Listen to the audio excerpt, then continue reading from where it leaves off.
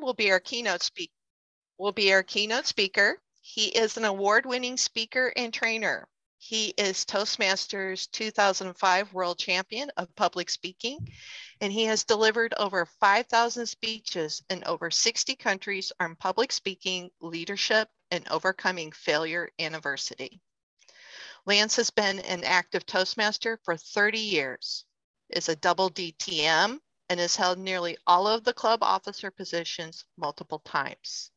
In 1999, he was part of the leadership team that built his home club, Renaissance Speakers, to 95 members and was the number four club in Toastmasters International. He has an extensive business background as well as a venture background from climbing mountains to sailing across oceans to flying across continents.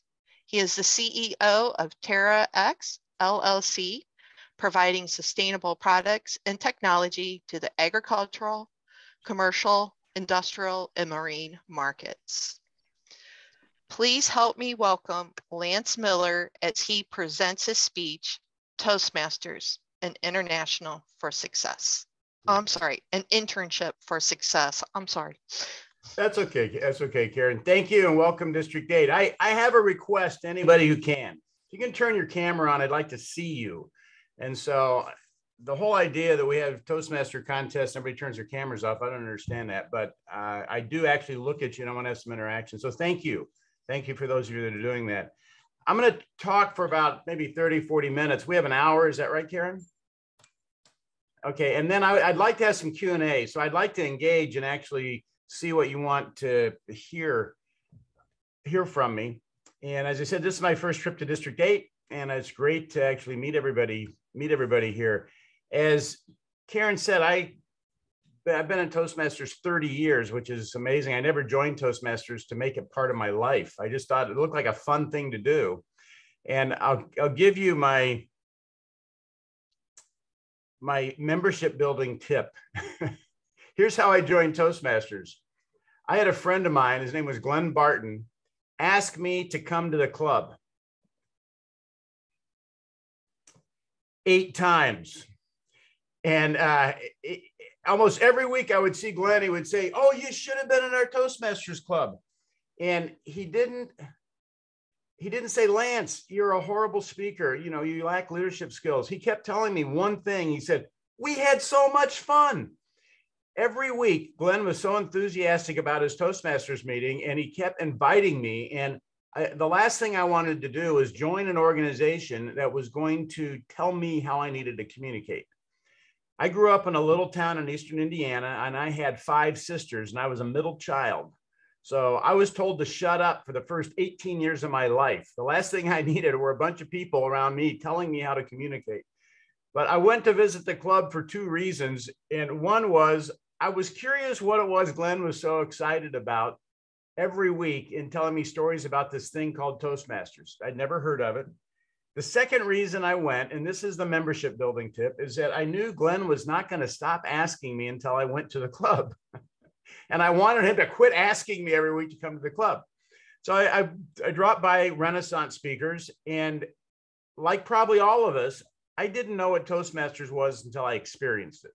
And then I looked at it and I went, well, this would be a fun thing to do. I, I wanted to become a better speaker. I was doing a little speaking at the time and I thought I was okay, but it looked like a fun thing to do, a fun group of people and a place I could develop my skills. And, you know, so I joined my Toastmasters club. Now, I, I think it's interesting for me. What if Glenn had only asked me seven times? I ask myself that question quite often. What if he'd only asked me seven times? Here I'm part of a group that built one of the most successful clubs in Toastmasters. I'm a world champion of public speaking. I've been to 80 districts and 60 countries around the world.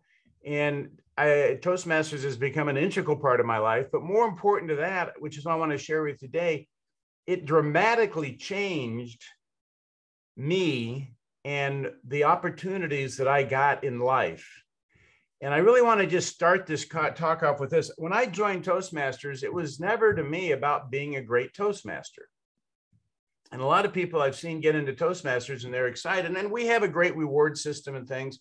But I see people trying to do the perfect speech in Toastmasters or, or you know do everything great in toastmasters but when they walk out of toastmasters i don't see them applying necessarily those toastmasters skills as an example there were a number of people in my club that would speak in the club but we'd say we have an opportunity to speak outside the club. And they go no oh, no oh no i'm not going out there.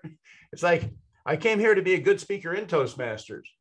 To me toastmasters was about using toastmasters to be good in life. It wasn't having Toastmasters to be good in Toastmasters. And here was a, we were talking about this before the, before my keynote, that this is actually a great place to come in and fail and get burned and just get thrown under the bus or get, you know, run over and make your mistakes because there's no consequences for failure in Toastmasters. And I will tell you personally, from my business experience, there's some pretty serious consequences for failure outside of Toastmasters. I've actually lost some jobs because I didn't handle situations well or messed up handling a client with my communication skills or presentations, didn't get demotions, didn't get or I didn't get promotion, didn't get promotions that I that I was hoping I would get because did not display the soft skills that I started to develop and learn in Toastmasters. And when I look back on all the different talks I get to do at districts, just a couple years ago, I just started doing really this whole talk for me, which is very personal. Because to me, this Toastmasters experience is a place where so we develop the soft skills, which I'm going to get into in just a second. We develop the soft skills so we can be more successful in life. We can get the promotions, we can get the get the new jobs that we wanted. When I came into Toastmasters, I was I think I was 33, 33 years old. And I, I had grown up, I said in Eastern Indiana, my family had a nice family business. It was a milk and ice cream company with, with convenience stores and some restaurants. And that's what I thought I was going to do in my life. My whole life was this little town of about 2000 people. And it was like, you didn't really have a choice. I was the only boy in the family. And it was like following in the, you know, the family footsteps. And I got into that business and the nepotistic aspects of the business were actually pretty brutal. And um, when I was 26, I scratched my head and I said, I got to get out of here. I got to figure my life out. And I moved to LA, which was about as far away as I could get and still stay in the continental United States. And it was, it was at, you know, at that point, I, had to start sort of recreating my life. And I had some really good jobs. I I worked with the, I was an executive actually with the 1984 Olympic Committee, and that was a fluke that happened, but it happened, and I had a great position there, and it was a life changing experience. I spent a couple years with Nestle in brand management. I wound up on another fluke getting a job with a St. Louis company called Anheuser-Busch in sports marketing, and I, I did sports marketing on the West Coast with Anheuser-Busch, which I had some incredible experiences and I sold media nationally for a couple years. And I was looking for that thing that would give me that fulfillment that I sort of had in my family business. And I went back down and started working in smaller businesses, but I was not getting the career opportunities that I wanted. When I was with the Fortune 50 groups, I wasn't doing, I wasn't getting the promotions I wanted. I, I thought I was a brilliant leader. Found out that I had some things to learn about that. And so when I stumbled into Toastmasters, and this is really the truth, I, to a certain degree, I'd given up on my own success. I'd, I'd sort of gotten into this quasi apathy thing going, man, I, I guess I'm not going to achieve the things I want in my life. I have to settle down and focus and, and, and it was really a place that helped restore me to my true abilities that I had. And I, I want to give you just a couple other examples. When I was when I was 14, I talked my parents into sending me to the Telluride Mountaineering and Leadership School, which was in Telluride, Colorado. And this was before Telluride was even developed as a ski area. It was just this little mining town in southern Colorado. And for five weeks, I learned to climb mountains. I slide down snowfields. We rafted rivers. We had to do a 10 day trip to the hike, uh, through the Rockies and navigate with our own topo maps and everything. We had six of us. And I came back and I was going, 14 years old. I'm going, leadership school. I didn't think I learned anything about leadership. But when I got, it was my freshman year in high school, I was coming back in and I went, you know, I realized my viewpoint was different than my classmates. The experience that I had. Now, when I was in Indiana, I wasn't climbing anymore. I wasn't sliming, climbing down, sliding down snowfields. I wasn't rafting rivers in Indiana, but I had gained skills that summer, I had gained confidence in myself that my peers in my school didn't have. And I, things would happen and I would, they would stop other people. And I would go, no, we can push the car out of the ditch. Let's we, we can do this. We can make that happen because I had been in all those challenging situations that summer. When I was 19, I got my pilot's license. I don't fly anymore, but I flew for about six or seven years and I had four or 500 hours of flight time. So I, I had a fair amount of time in the air.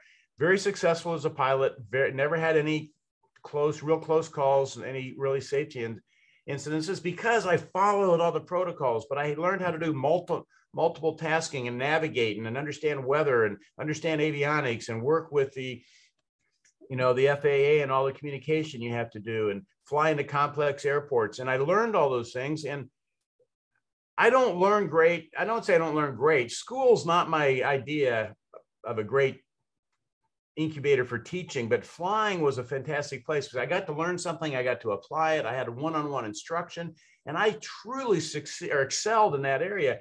And there have been so many things I've tied into in my life that I went, you know, I don't know if I can do this. And I scratch my head and I go, you know, expletive, expletive, expletive. I, I can fly an airplane. I can do this. And it gave me the confidence I could learn complicated things. That was something I never expected to get out of flying. And I've had a number of those experiences. And Toastmasters is the same thing. When I came into Toastmasters, I wasn't looking to be the CEO of the one of the most successful clubs in Toastmasters. And for those of you that are that haven't been around for 30 years, Toastmasters used to have a distinguished club program that ranked all the clubs internationally. And it was, uh, you got points for everything you did. I really loved that program. And I forgot to open the talk with this. Two things about me I'm not politically correct. So I say things that maybe are not uh, totally in line with the Toastmasters International viewpoint. and I don't pull my punches.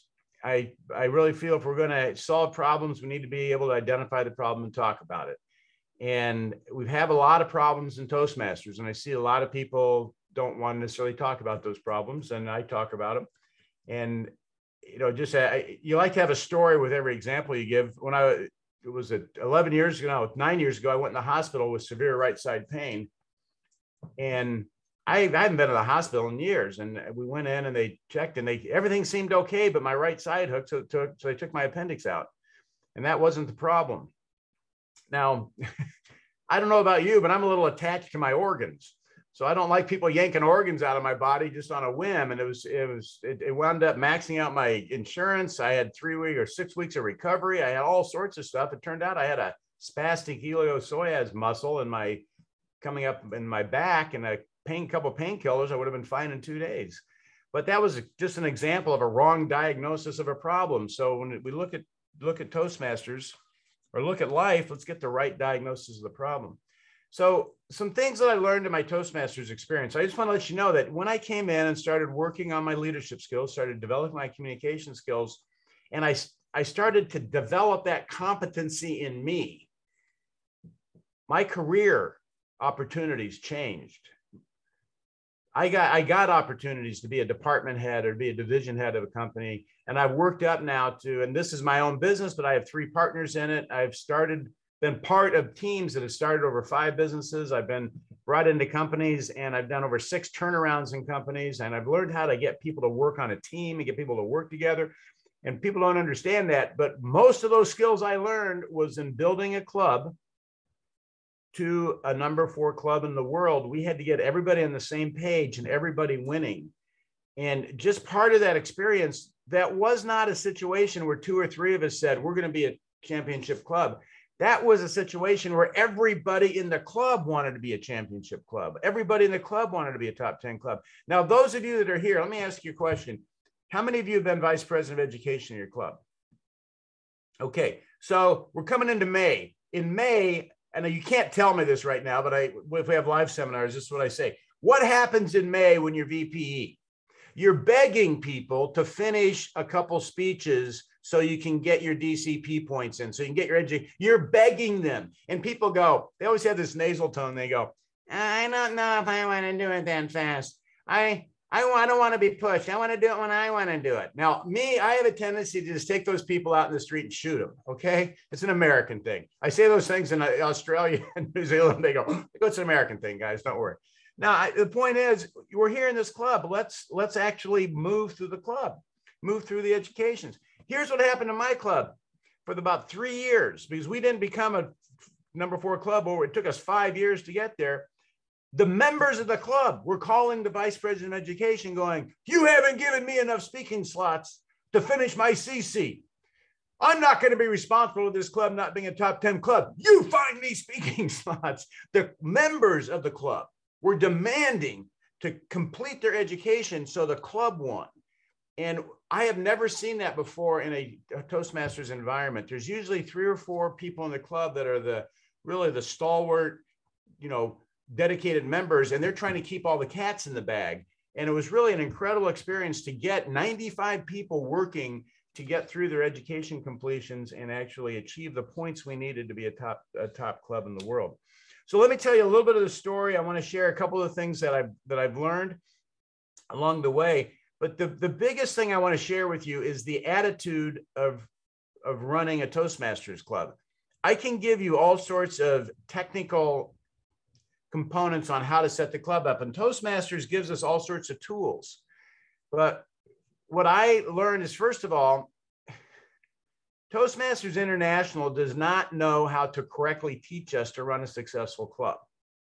Now, that may be blasphemy some way, but just look at the statistics. Over 50% of our clubs are under 20 members, and over 50% of the clubs have been under 20 members since I've been in Toastmasters. And so we have a we have a huge turnover of people in Toastmasters. We have a we lose about 40% of our membership every year. We lost a lot, lot more with that with COVID on that, but we typically turn about 40%, 35 to 40% of our membership over. I had 95 members. I had to get in 35 new members a year to keep that club up at that level because that was that we were losing about a third of our membership every year. That's how it just sort of how it works. That's that's part of the nature of the game. But one of the things that we did in the club is that at the time it turned out to be really blessed, real blessing. My district is not the district I'm in right now. We, we the district's moved, but my district was actually one of the worst districts in Toastmasters. And so uh, we went to the, the district training and it was like, well, where'd they find these people? and we came home. I've been taught to do a lot of things. I well, I don't know how to run my club now. And so we took this viewpoint of let's figure it out for ourselves. And that is probably one of the biggest things I've gotten out of Toastmasters is the viewpoint of let's figure it out for ourselves. And this is what I've seen with this happened to me to a lesser degree than a lot of other people, but it, I see this happen with people coming into Toastmasters. Actually, I see this with people in life. Let me just ask you: Did anybody here grow up in a family? Were you a child one time? Okay, we got a couple kids. That's good. You know, you didn't beam me in here from another planet as an adult. So when we're kids, we have this tremendous amount of free will and energy. And there's these big people in our life. They're called parents. And did your parents ever tell you to sit there and be quiet? Okay. One of the things the parents do is they, you know, they they teach us, they so help socialize us. And one of those things is teaching us to sit there and be quiet. And there was a point in my life, I remember where I got ready to say something. And I looked at my parents and I went, wonder what would they do or say if I said that? I don't know if that happened to you, but I, I think it's happened to most of us. And here's the question at that moment, who became the author of our thoughts and actions? Us or our parents? To a certain degree, I started turning over the authorship of my thoughts and actions to the authorities, which the root word of authority is author. The root, excuse me, root, root of author is authority. I had it right, right. The root word of authority is author to my parents. Then I went to school. And I was taught if you sit in the right seat at the right time and you sit there and do what the big people say, we'll let you succeed and go to the next grade. And after 16 years of school, that includes college. I didn't flunk four classes going through elementary and high school, just so you know. Uh, I learned to figure out and study what other people figured out. Never in school was I taught to figure something out for myself. I always studied what other people figured out. And what I learned, if I showed up in the seat at the right time and sat there, and didn't speak out in class, which my seventh grade I spent in the hallway doing table topics with the principal. But if I didn't speak out in class, I got to go to the next grade. Then I got a job, and then that a little different was I was in my family. But when I got when I got out in the world and started getting jobs outside my family, it was like, here's your desk, sit here, don't rock the boat. They didn't really say that, but it was said, don't rock the boat. And if we like you, sometime we'll promote you. And what happens is I did it in the business world. I didn't do it in my adventure world, but I did in the business world. You start turning over your future, your success to the authorities, waiting for someone to give you permission to succeed. And I watch people walk into Toastmasters all the time, willing to come to the club and sit in the seat at the right time. But the truth of the matter is that your club will not succeed by everybody showing up and sitting in the seat. You got to take ownership of the club and you got to run it and you got to start figuring things out for yourself on how to make your club work. And what happened with my club is I joined and I thought the people ahead of me were more advanced than I was. So when I came in, I was going to learn from them. So when in the, those early years, when there was a problem in the club, I didn't go, I got to solve that problem because I, there's somebody ahead of me. There's somebody more senior to me. And I'd been conditioned that the senior people solve the problems and I'm the junior person. The problem was the people that were ahead of me were looking at the senior people ahead of them. And we had a condition that I call an SEP, which that is when there was a problem in the club, it was somebody else's problem. And I don't know if you've ever read Douglas Adams' guy, Hitchhiker's Guide to the Galaxy, but that's where I got that from, just so that I don't plagiarize too much in this talk. The thing that we did in my club, and I'm going to tell you a short story on that, is we no longer looked at problems as somebody else's problem. When I joined the club, we had 35 members in the club. Six months later, we had 12 coming to a meeting. Now, does that sound familiar to anybody, or is that just my club? Okay. And one day, five of us showed up. And we have a weekend club. We showed up nine o'clock in the morning and we had coffee. and we're sitting there drinking coffee, going, Are we going to keep the club? We're going to close the club. The club was three years old. We're going to keep it or close it. And uh, to summarize, here's what happened in that meeting. One, we were the five most dedicated members, the five most enthusiastic members. How do I know? We were the five that showed up that day. And one guy says, well, if we're going to do Toastmasters, let's win with Toastmasters. But I don't want to sit here. And he didn't say this, but I'm going to paraphrase it. I don't, I don't want to run a hospice Toastmasters club. You know, hospice Toastmasters, that's where we keep the members comfortable until the club dies. Okay. And there's a lot of clubs out there like that. And somebody else said, well, they have this, this program that they give you points and they rank you internationally. We didn't even, we'd never read the DCP. And and and somebody goes, well, let's be a top 10 club. And we all got excited about being a top 10 club. We said that would be winning with Toastmasters. That'd be cool. Now, the thing we did when I, I, I do all sorts of leadership training, we set a goal for the club that day at coffee. We set a goal to be a top 10 club. We wanted to go someplace with our club. Now, the membership wasn't on board with us. So, what we did, we took that day, we took the roster, we divided up all the names, we I think we each had to call five or six people and we came up with a couple questions. But the, the key question we ask everybody now, I'm going to tell you, there's no there's no direction in a Toastmasters manual that says your club's failing. Take a divide up the names, call every member, and ask them what did they enjoy about coming to the club. But that was the question we asked because they weren't coming to the club. They said, "What did you enjoy about coming to the club?" And then we got back together and tallied our answers. The number one reason, and I I like this when we're live because then I can ask you and 90, 99% of people get it wrong. The number one reason people like coming to the club, most people say to improve their speaking skills, be a better leader. No, they wanted to have fun. That was the number one reason they wanted to come to the club. The number two reason they wanted to come to the club, they wanted to see their friends. Now, just think about it. Do you like the members of your club? The members of my club I'm closer to than most of my family today because I'm spread all over. And I'm also, I've been to, I've been with them longer than I was the 108 kids I went to school with yeah, I love my Toastmaster friends. I love seeing my friends every meeting, and the meetings are need to be fun. The third reason was the personal improvement. And when we saw fun and friendly were the first two reasons that people love coming to Toastmasters, we realized why our club was failing. For two years, we'd had two presidents that were not fun and friendly. One person was real draconian and authoritative, and he told every they started every meeting off with "We're not making the grade, and we're all going to hell in a handbasket." And he started changing rules. He started fining people for being late to the meeting. I mean, if you were one minute late, you got a two minute fine. You'd walk in and he'd gavel down and go two dollars when you came in the meeting. Wasn't fun. Okay, people people just go, "I'm out of here." Okay, so we we we started writing our own policy and we wrote, how do we run our club? The number one policy we have in our club is to have a fun and friendly, we have to maintain a fun, friendly environment. And we watch that. We watched that for 25 years now. Actually, it's longer than that. It's almost 30, 29 years we've been watching a fun, friendly environment in our club. And then we did this other amazing thing.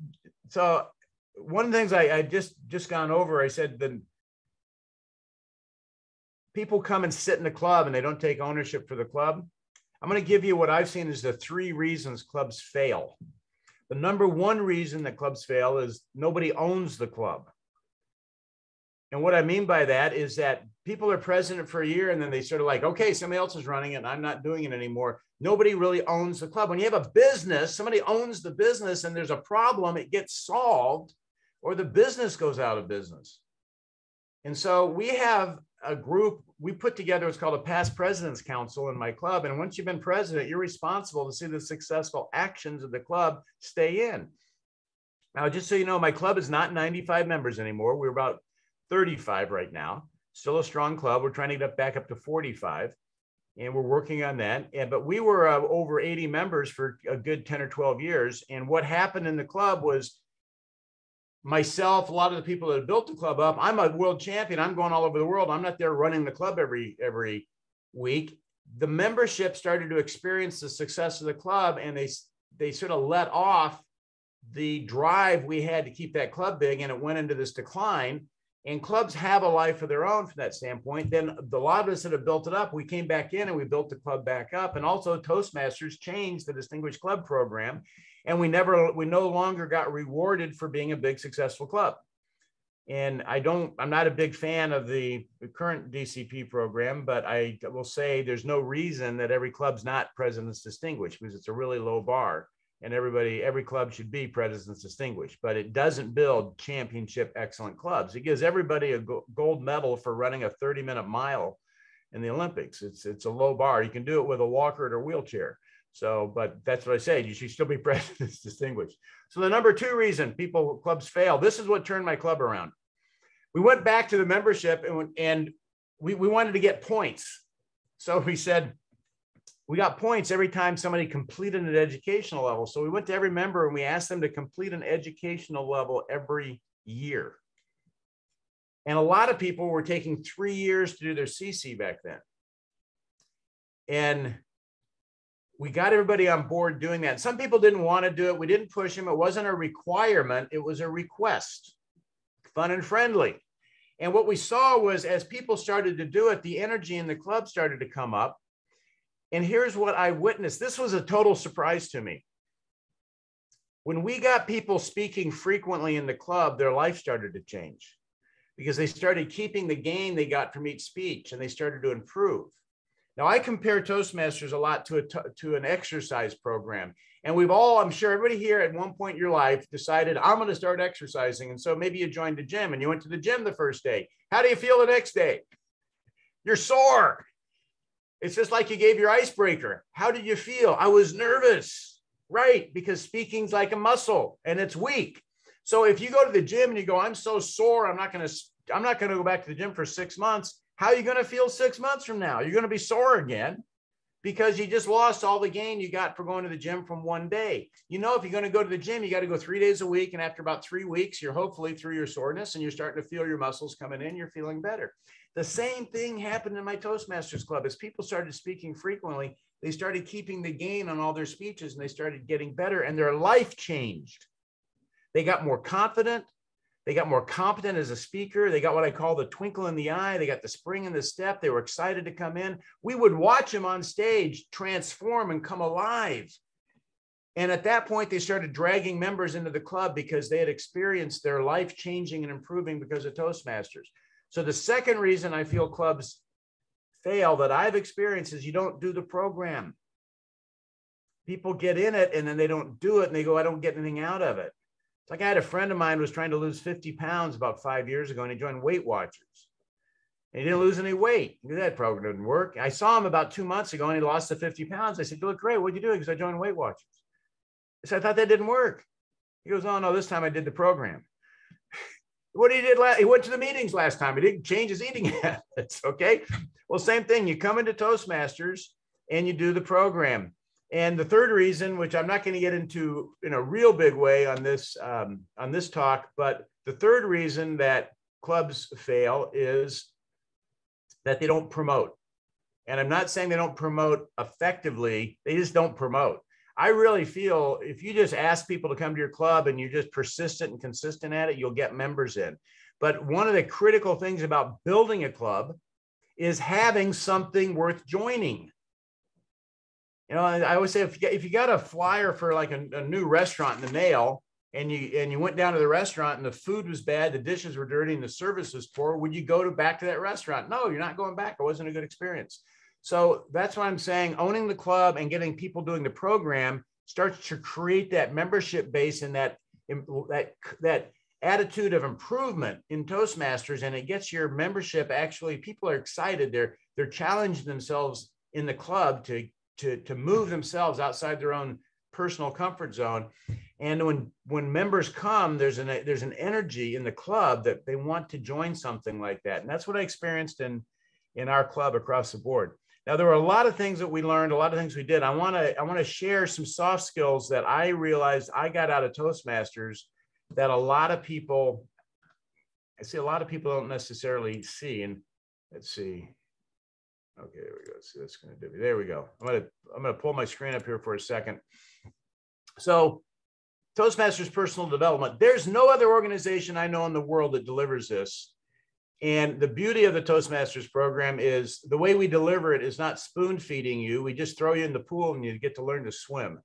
So the first thing is we have communication soft skills we learn. We learn this through prepared speeches, but I'll tell you, even as a world champion speaker, and having done over 5,000 talks all over the world, I probably gained as much learning to be effective at table topics. And or I'll say learning to be effective at table topics helped me in my career as much as being a, a prepared speaker. Because learning to answer an unexpected question competently has saved my skin more times than I can count and that's in meetings you get tossed you know your area is not doing well or somebody sort of attacks you out of the blue and you're able to think on your feet and handle it. That skill has been a, a critical skill. You uh, by being toastmaster you develop your to- your communication skills because you're running a meeting and you're having to adjust to what's going on. And then all your listening skills those are communication skills. We learn to listen in toastmasters. We start by being all counter you know, we never heard an awe until we were all counter, you know, and now we get whiplash every time we hear one. Being grammarian, being a being a really good speech coach. And in my club, we call it coaching. We don't call it speech evaluation. Because the idea is to coach somebody to be more competent. I can evaluate you and tell you your, you know, your hair's messed up and you're overweight. And you know, I didn't do you any good, but I evaluated you. And you know, nobody hires an executive coach or an, nobody hires an executive evaluator, an executive or a speaking evaluator. So we, uh, our communication skills, and we see people come alive in Toastmasters doing this. I know we've all seen this. I would say Toastmasters is a little bit like church. We revive the dead. You know what I mean? People come in and they're this huddled shell of the mass, and six months later, we can't shut them up. they're they're more alive than we've ever seen. But these skills have changed my my professional career, my corporate career because I can stand up in front of a room and talk. I can lead. I have the confidence. I have the personality. I have the, the competence to stand up there and not question myself and know what I'm doing and look at the audience and not be stuck in my head trying to remember what speech did I write last night that I was going to tell to everybody today. You know, the, the, the next area is that area of coaching. And this is one of the areas I think we overlook. I don't hear a lot about this in this, the development in Toastmasters, but I'm a first of all, I don't think you can be a world champion speaker without being a good coach because I had to coach myself. I had to figure out how to make my speeches better. But I won the district championship three times in speech evaluation. And I did that just to prove to myself that I could do it. After that, I quit competing because every time I competed, I knocked somebody else out from getting that gain. But really being able to look at a speech and give somebody good feedback to help them become more competent. Now, that's really what we're learning to do. In Toastmasters, we're doing it with speech coaching. On the job, I do it in sales training, or I do it with a you know receptionist handling people coming in, or I do it with a forklift driver on how to load the trucks and stuff. I'm figuring out how to make that individual more competent, and I'm working with them in a positive, reinforcing way that brings more out rather than how I was treated a lot, which was sort of to a, you know, we're gonna, I'm gonna oppress you until you do do a better job. You know, it's like the beatings will continue until the the morale improves. So we learn how to be competent coaches and give people great feedback. And if you look across your life, I'm sure there's a number of people that spent time with you that made you into a better person. And those people I know to me are some of those valuable people I know. And I'm so appreciative they took the time to work with me. That's what I wanted to be to somebody else. The next area of uh, soft skill development we have is effective meeting management. When you're Toastmaster, you learn how to run a meeting. Now, most people don't like to go to meetings. They don't start on time, they don't run on time, and they don't they don't end on time. They're, they're, they're a complete waste of time to go to a meeting. People love to come to my meetings. Why? The room's set up, Agendas are at the place, chairs are straight. I'm at the door greeting them. Where'd I learn this? This is a Toastmasters meeting. I'm at the door greeting them to come in. We sit down, I run the meeting, run it on time. If somebody starts to go over, make sure we stay on time. They're in and out on time or early. And I have people all the time saying, I love coming to your meetings and we stay on point and we accomplish what we need to. I learned that in Toastmasters. I did not learn that anyplace else. General evaluator, you learn how to evaluate meetings. Every meeting I go to, I'm looking at how should it run? How could it be more effective? I'm constantly looking at how do we need to improve this meeting? Not Toastmasters meeting, Rotary meetings. I'm in five nonprofit organizations. I'm in meetings all the time. The different businesses I have. Table topics master. You're running the meeting for this little tiny, tiny section in table topics.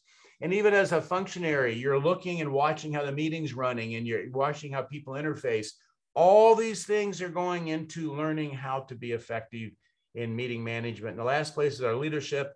We've, of course, learned that by club officer, being a club officer. We learned leadership role as a Toastmaster. You have to run the meeting. That's a leadership role. You got to run something and make sure it works out okay. General evaluator is a leadership role. You've got to evaluate that, give feedback. How could we have done, done it better?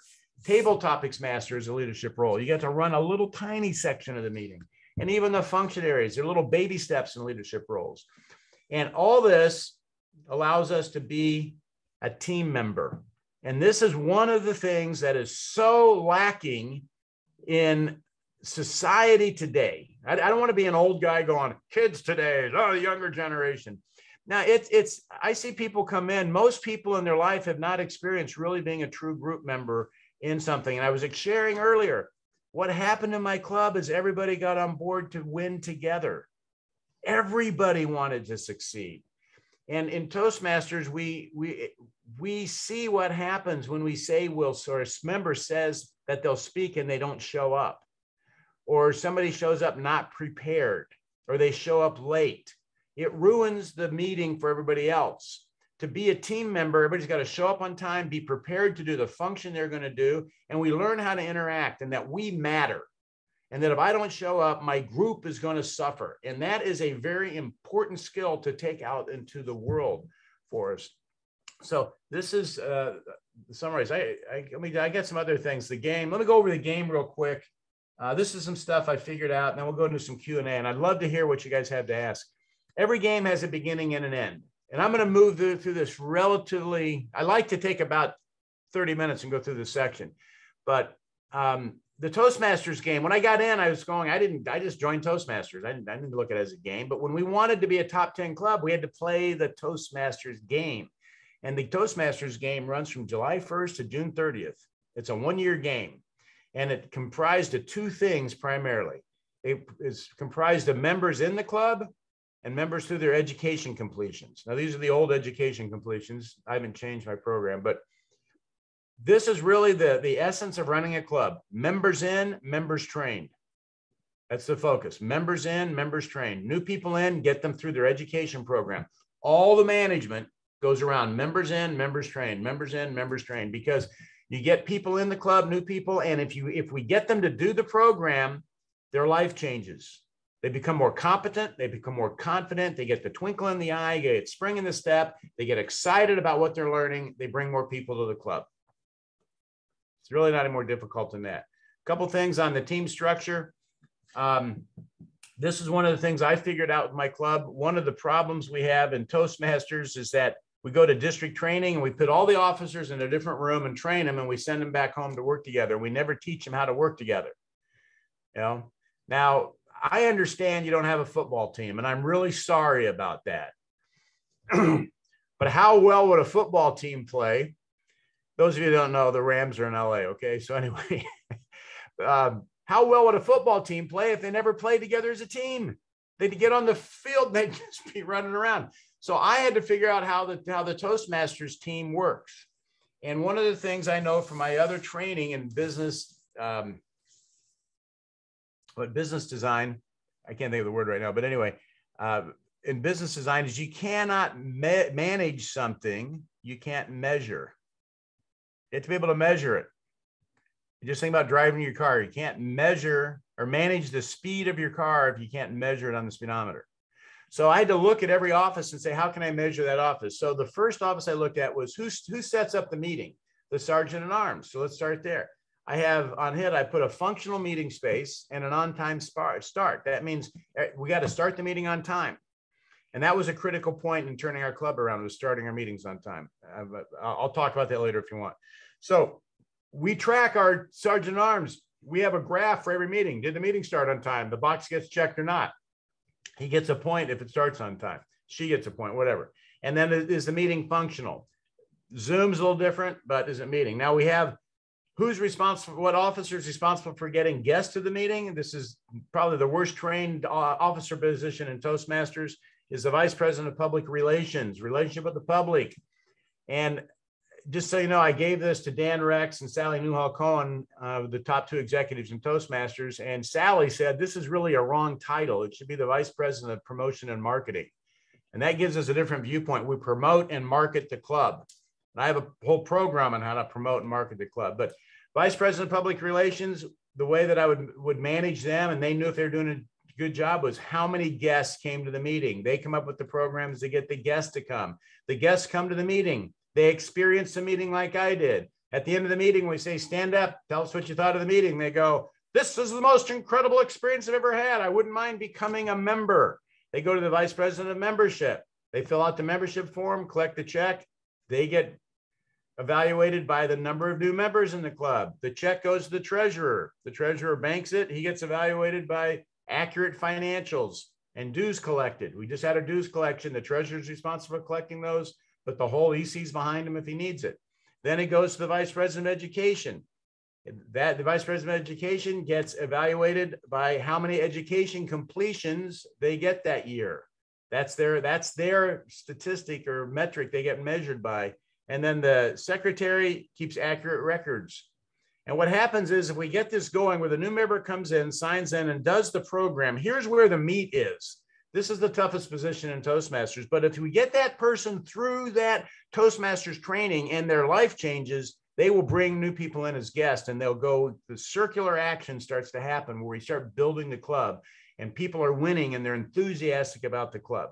The last thing I want to talk about is the president the president, to me, has two primary responsibilities it's winning members, that's people moving through their program and life changing, and an expanding club. When you're president, you should have more members and more education achievement at the end of your year than the previous president had. That's the goal for you as president. Now, two things are going to happen. You need to help your members, your officers, do a good job for two reasons. One, everybody should have a positive experience being a Toastmaster officer, positive learning experience. And what I see a lot of people take the position on, they don't start doing it right away, and then they get a, they get behind it, and they start to feel guilty that they haven't done it, and then they they they have a hard time starting, and then like the VPPR doesn't do anything for three months, and they're like, oh, I don't know. Then they're overwhelmed by the job. That's why, as president, you got to get down there and help them get started, help them, you know, one on one, working with them, making sure they're winning you do that for the second reason. if they don't do the job, you get it.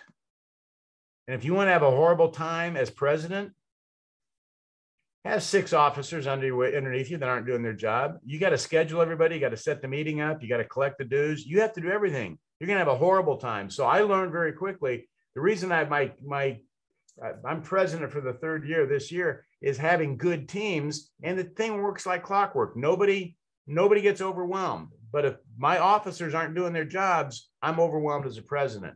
The other thing that happens, I'm going to end off on this point. As president, you're going to learn the strengths and weaknesses you have as a leader. And you're going to hit the wall and you're going to be confused and you're not going to know what to do. And you're going to be like me and you're going to pull all your hair out. And um, got a couple smiles. Thank you. Anyway, when you hit the wall and there's a problem in the club that's going on, you need to solve the problem.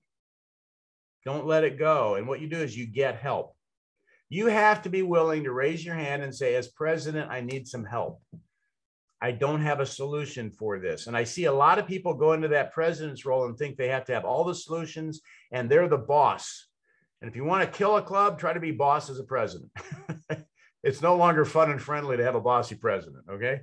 So the first place you get help is inside the club. Go to your members, go to the senior members, go to your EC. Let's get together. People aren't showing up. We need new members, whatever's going on. Get together. Let's get our minds together. Let's get some ideas on the table. How can we solve this problem? Engage everybody in solving the problem. If you as a club can't solve the problem, you go outside the club. You go, and here's what I, you know, again, a lot of area directors have never even been an officer in a club before you know, because we're usually trying to get area directors in. Sometimes they're great area directors, but I'm just going to say a lot of area directors don't know how to solve the problem in your club. For me, I would go to the top clubs in your district. I'd go to the top Toastmasters in your district. I would call them up and say, We're having a problem in our club. Could you talk to us? Could you come to a meeting? Could you see what we're doing? Can we come visit your club and see what's going on? But here's the point you figure it out for yourself, but you decide to succeed with Toastmasters. And I'll we'll leave on this point, and then let's take some Q and A. If Toastmasters was played like some of these reality TV show games are, you know, and I, I'm not I'm not doing this from a political standpoint, but there used to be the show The Apprentice, you know, and what they, what they would send people out on the streets of New York, and they would have to create a business. What if Toastmasters? Just imagine this: if it was a game to see who could make the most successful Toastmasters club and here's your product. You have a product that every human being needs. In, improve communication and leadership skills, improve soft skills for success. That's your product. And the winner gets a million dollars. And the 16,000 clubs go out and go, okay, we're going to see if we can win the million dollars. Let's put our team together and see what we can do. How hard would you play the game if there was a prize at the end of the year that you could get? And I, I have submitted to TI a leader a championship, a world championship of leadership, which to me is the top 10 clubs in Toastmasters, not the top one. I think we need to reward leadership in this organization as much as we need to reward speaking. And we need we need to have Toastmasters clubs like mine is that was up around 100 members. To me, a good club is 40 to 60 members. That's a dynamic communication and leadership environment that we're in on it and stuff. But uh, in order to do that, we as members have to pick up the ball and run with it. And your Toastmasters success, the only thing that's between it and your success and your club is the cumulative leadership and the drive that you and your members have, because there is no higher authority in your club than you. Toastmasters gives us the tools to build our club, just like Home Depot gives us the tools to build our house. But Home Depot ain't coming over and building your house. You got to swing the hammer.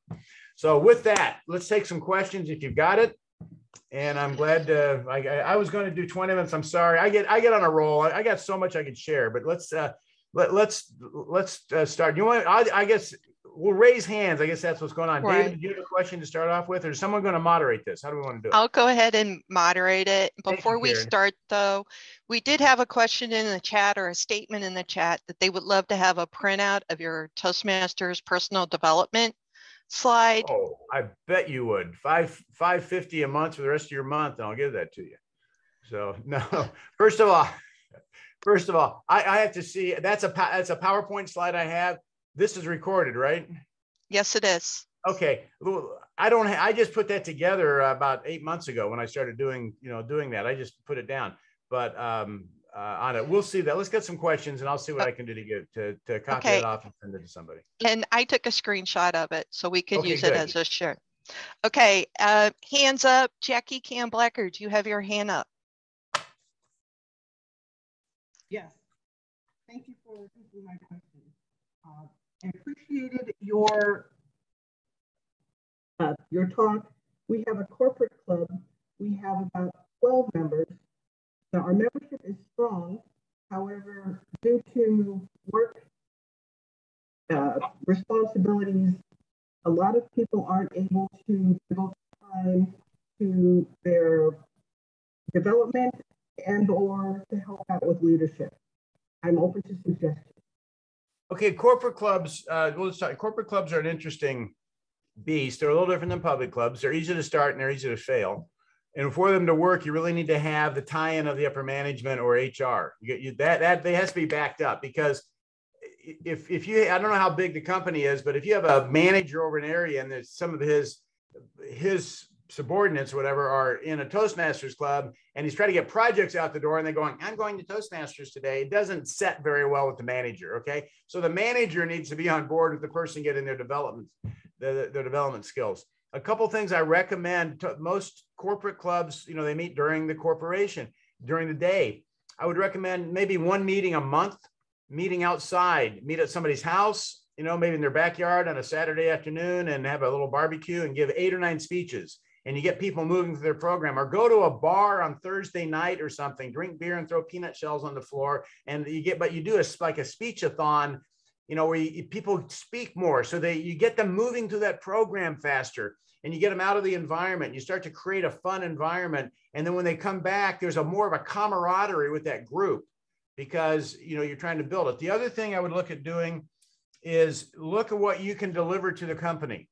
Um, maybe you do seminars, you tie in with HR or something, and you do a seminar on how to do PowerPoints, or you do a seminar on how to how to prepare for a speech. You do you do little little vignettes on these things, and the- so the other employees in the company can come to a learning, you know, session with you that you're explaining how to put a speech together. Here's how you want to do it. You know, proper stage manners or lectern etiquette. All these little things we can teach. Do little seminars on that for all the employees in the company to come and and so now you're a training unit for the company, and that gives you leads for people coming in and wanting to wanting to work and explain. You're like going to the gym. It's like we have a gym here in the company, and we want you to come over. We want you to work out 15 minutes a day so you're healthier. We want you to come to Toastmasters an hour a week so you're healthier in your other skills. So there's just a couple ideas. We can do a deep dive on that, but I want to. Uh, we we just have a few minutes left. I want to get some other questions in here. Thank you. Um, I do not see any, oth- oh, RJ Stratton. Yes, Lance, thank you. It was awesome. I enjoyed your speech very much. have a question for you because I know you're a reader. One book you could probably recommend that you probably one of the best ones you like. Endurance. Um, Ernest Shackleton, uh, Endurance by Alfred Lansing. Uh, it's not a technical book. It is a book about Ernest Shackleton going to Antarctica in 1914 to be the first Antarctic explorer to cross Antarctica. His boat gets stuck in the ice 80 miles from shore with 28 men on board. He's there for about a year and it gets crushed. He moves out on the ice with three lifeboats. They're down there for 22, uh, 28 months or something like that. He saves all 28 men. That life, that book changed my life, but it also showed me what's capable of a group of people. And, um, you know, that it showed me what a problem was. So once I read that, I, I would think I had problems in my life. And I went, I'm not stuck in the ice in Antarctica. I don't have a problem. But that, there's a lot of stuff I can recommend, but that's, that's the book that, that was a tipping point for me.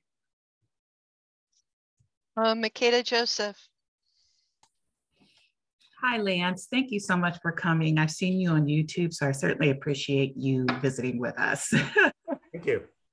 I have two questions. Uh, first of all, I, well, I've been a Toastmaster since 2019. Both of my parents were Toastmasters, though, so I'm quite familiar with it. However, with this current environment, or at least what I've experienced, my first question is how do you manage uh, speeches? Because 40 members, I've we, I don't experience, I haven't experienced that like 40 active members. So how do you manage getting speeches in there?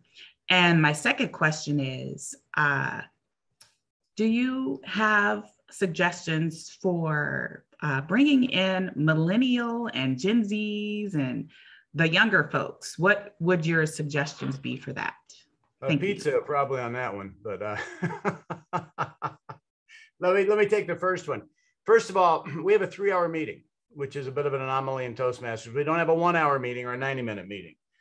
Uh, there's some stuff. I, there's a lot of stuff I haven't gone over with you, but even that, with the three-hour meeting, we have six speaking slots in that meeting. When we had 95 members, we had a three-hour meeting. If you take the number of speaking slots times the number of meetings you have per year, which we meet once a week, which is usually 50 meetings a year, six times 50 is 300. That's 300 speaking slots you can deliver speeches in. And in the old program, which I'm much more fond of, I won't go down that rabbit hole, is we were 10 speeches per speaking level. So we could get three with 10 speeches, we could get 30 completions with 300 speaking slots. You follow the math. We had 57 the year we won. What we did we would create speaking slots to make sure we expanded our delivery for the membership. We didn't cap our delivery based on the meeting time. And just imagine if you had a donut shop and you started selling out of donuts, what'd you do? You'd figure out a way to make more donuts. Well, we had we were growing. We had to figure out a way to deliver to our membership. Otherwise, the club would fail because the only way the club works is if the members are winning. Tell you what we did. We have a weekend meeting. We went to lunch. Afterwards, we'd have three speakers at lunch. We did we the second half of the year, we went to two meetings a week. We had a weekend meeting and a Wednesday night meeting. And we'd have spaghetti. We literally had the spaghetti, garlic bread, and a little salad at somebody's house. We had 18 people show up somebody's house and speak in the living room. And that was our Wednesday night meeting. And people were like, oh, you should have been at the Wednesday night meeting. It was so exciting. I've had people go, oh, how terrible. It wasn't terrible. It was exciting. The energy was through the freaking roof. We were like, we were charging towards this goal. But that's why I was talking about the corporate club expand your speaking, expand your ability to deliver. Don't cap your training on your time. Figure out, figure it out for yourself. How can I make this work? And you start, and that, that's all we did. We go, how we want to be a top 10 club. How do we make this work? We have to go to two meetings a week. And just so you know, I had people in my district fighting us like crazy. People wanted to split the club, all sorts of stuff. I had to break two people's noses to get them to leave me alone. But like I said, you know, I, I told them, I said, people don't want to join a Toastmasters club. They want to join our Toastmasters club. There's a difference. You split a club, you kill both clubs. Both of them die.